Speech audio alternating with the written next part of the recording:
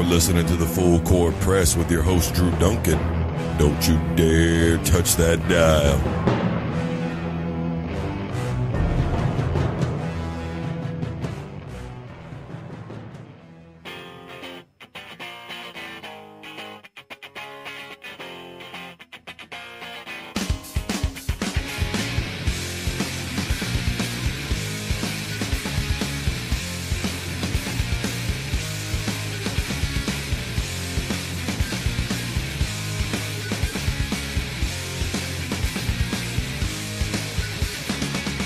Hello, everybody. Welcome to the Full Court Press. I am your host, Drew Duncan. Don't forget, I am on Facebook, Twitter, and Instagram, all at Drew Duncan83. There is a lot of MMA that goes on right here in Kansas. A lot of people know the name Dave Rickels and what he's able to accomplish in Bellator and ESC. But there is so much more out there, and part of that so much more is a guy that's on the phone with me right now. He's from Leavenworth, Kansas, and he's got a big time fight coming up this Friday against Mr. Dupree. Please welcome to the program Mr. J.W. Kiser. J.W., thank you so much for taking time to speak with us today, man. Right on, man. I appreciate it. Nice intro. thank you very much. I, I stayed up all night practicing in the mirror for you, man. So uh, you did good, man. You did good.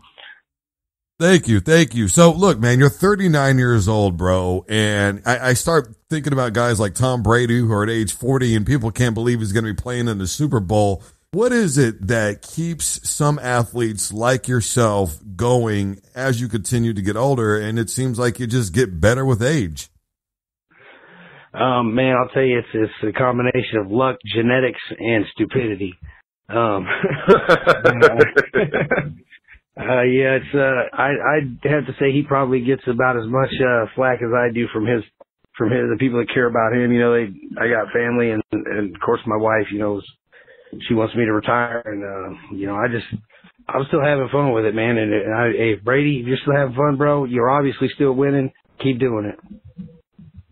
You know, but the fight game has got to be a little bit different. I mean, look, obviously the NFL, it, it's still a hard hitting game, and there's no such thing as a backseat for anybody. Nobody really gets slighted in terms of getting big hits. It, the same has got to apply, but I think of a movie quote that could resonate here with some people, and that is war is old men talking and young men dying. You are going to war with guys that are 20, 21, 22 years old how do you find the sustainability to be able to compete with guys that are in the prime of their life? Man, um, I tell you what, man, it helps to uh, be a hard puncher, man. Like I'm a I'm a hard puncher. I come from a long line of hard punchers.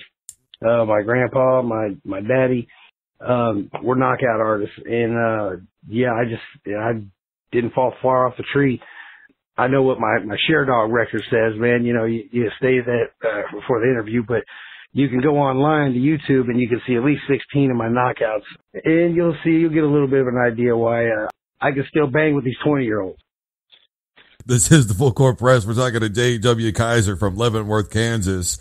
Uh, J.W., obviously, I, I think about this Friday and what it really means to a lot of people to continue to be in the ring. It takes a lot of guts to step in there, man. You mentioned that there's, you know, talk with your wife and your family. Hey, man, maybe it's time to hang it up but there's a passion that just continues to run deep with any athlete. Is there a way that you could maybe put that into words that we could all understand? Boy, that was a good. That, that's a good question. Um, it comes down to why does anybody fight, man? Um, I mean, you're getting in there. You're getting in a situation where you're putting yourself in a situation where you don't know what's going to happen. Um, you could get your leg broke. You could get your arm broke. You could uh, get knocked out. I mean, you you could possibly die.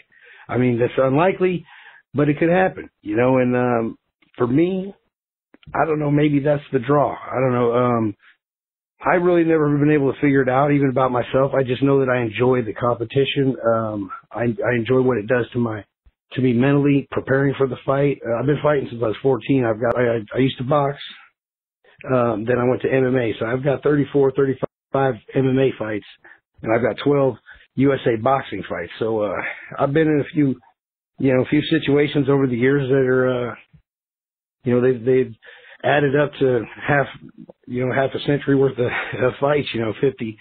I don't know. I, I would have to say that the draw is is the un- uncertainty, you know, uh, fear of the unknown. Uh, you just, you, you know, you get in there, you fight past that fear. You know, I mean, everybody's scared before a fight. I don't care what they call it. They call it nerves, whatever. Yeah, well, I'll call it nerves, uh, just because I don't like to say I'm, I'm scared of anything.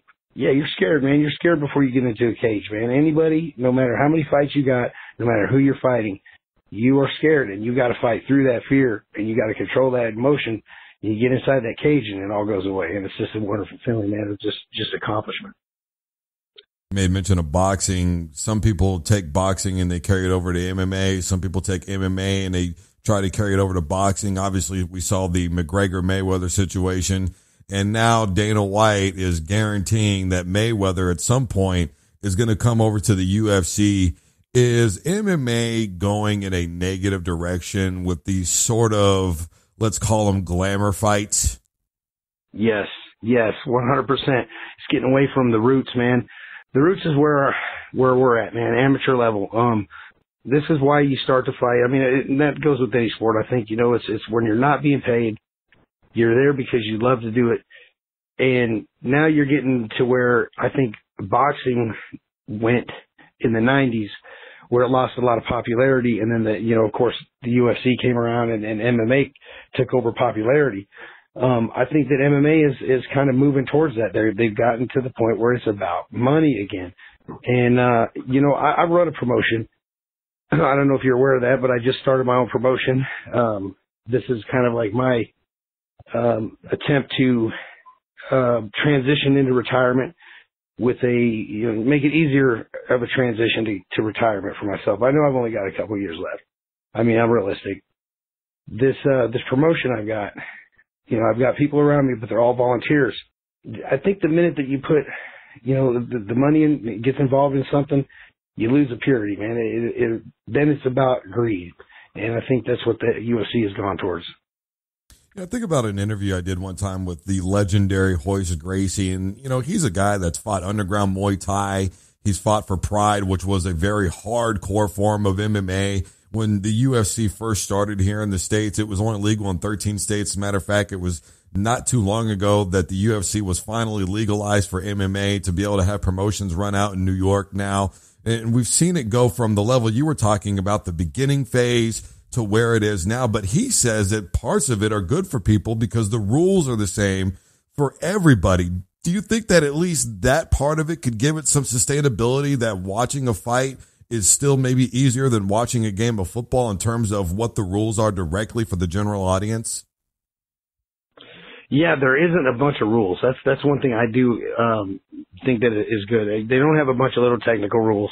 It's just it's a matter of who runs it. Um, I you know I've Dana White is uh he's the face behind the UFC, but there's a lot more you know to the to the UFC and and MMA fighting in general, man. It, it's it's hard to to put put it on just one person, you know. But again, it's it's the people that administrate this this this sport. You know, we need positive publicity. We need to show people that this is not a, a blood sport. It's it's it's a it's a combative you know, a, a cage, yes, but like we've got a guy that's trained his whole life. You know, he's he's trained his whole life. He's put years and years and years in, and he wants to showcase his skills. These these smaller shows, they give they give the guys the opportunities to do that, and then of course the ones that stand out, you know, they move their way on up. But like uh, you know, it's it's it's a good thing. It's a good thing for the community. I'm actually in this battle right now that I'm talking about with. uh There's been a lot of flack on Facebook. There's been uh, um, debates about, you know, it's very violent. At the end of the day, yeah, it's a fist fight and occasionally it gets bloody. And, you know, I, I still don't feel like it's a violent sport, man, because if you watch 95% of the fighters, they, they go over, they care, they'll help their, their fighter up. You know, they'll get a hug afterwards. I mean, you know, once the fight's over, the fight's over. I don't find that violent. Talking to JW Kiser, a lot of good takes going on for me right now, Kiser. I'm loving what I'm hearing. What's your take on your fight coming up this weekend, and how do you propose that you'll be able to stand toe to toe and come away with a victory? Well, I'm I'm excited because uh, this guy is a uh, he likes to stand and bang, and uh, that's my specialty. So the, I've been training with with some guys down at Brass Boxing, and uh, Austin Ford has been taking some time out and uh, training me for this fight. I feel great. I feel confident. I'm I'm in the best shape of my life. Um, I think that you know, if you want a prediction, I, I doubt it lasts 30 seconds. I'm going to catch this guy with a right, maybe a maybe a left hook like the rest of them, but uh, I'm going for a right this time. I'm going to call it a right, right straight, and he's going to go to sleep. Big confidence coming from a big man. JW, this is the part of the show where I give any of my guests the opportunity to say whatever's on their mind, whatever you want to say, social media information, or anything else you want to say. The floor is 100% yours, amigo. Hey, first thing I want to say is I appreciate you having me on the show, man. Um, I'm, I'm now a fan. Um, I checked a bunch of your stuff out over the last couple of days. Um, very, very entertaining. Um, next, I want to shout out to my myself, my, my promotion, uh, Universal Combat League. Uh, the show March 10th in Leavenworth, Kansas is going to be our second show. Our first show sold out. Yeah, the, the first time MMA has been at Leavenworth. We sold the show out. We got a thousand hits on YouTube in the first 24 hours. So yes, um, and it was an exhibition. So I'm excited now. This one's not going to be an exhibition. So I'm really excited for this show to see how it's going to do. Um, if you're out there listening, uh, go to my YouTube page and subscribe to Universal Combat League. You guys can watch the show live. We stream it. Um, and then like me on Facebook. Um, you can like Universal Combat League on Facebook, or you can friend me. I will accept your friend request. This is the Full Court Press. J.W. Kiser, very good takes all the way around. Thank you very much for being on the program today. Hey, thanks for having me, man. Love you. Love your show. Thank you very much. This is the Full Court Press. I am your host, Drew Duncan. Facebook, Twitter, and Instagram. It's all at Drew Duncan83. We've got a lot more to discuss coming up here in a little bit. Why is Brady being compared to Michael Jordan? We're going to talk about it right after this. Don't you dare touch that dial.